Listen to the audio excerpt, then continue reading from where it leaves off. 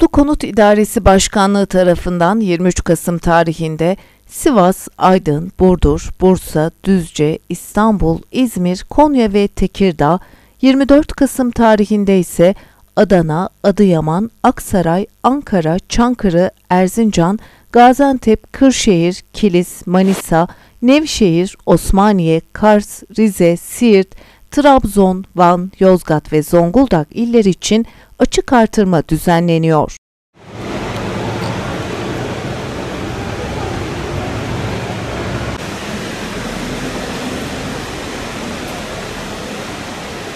Açık artırmalar 23-24 Kasım günleri saat 10.30'da yapılacak. TOKİ İstanbul Hizmet Binası ve Ankara Bilkent Otel ve Konferans Merkezi'nde yapılacak açık artırmaya internet üzerinden de teklif verilebilecek.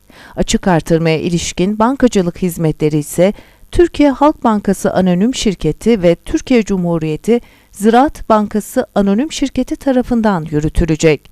Başvurular ve teminatlar bu bankaların tüm şubeleri aracılığıyla kabul edilecek.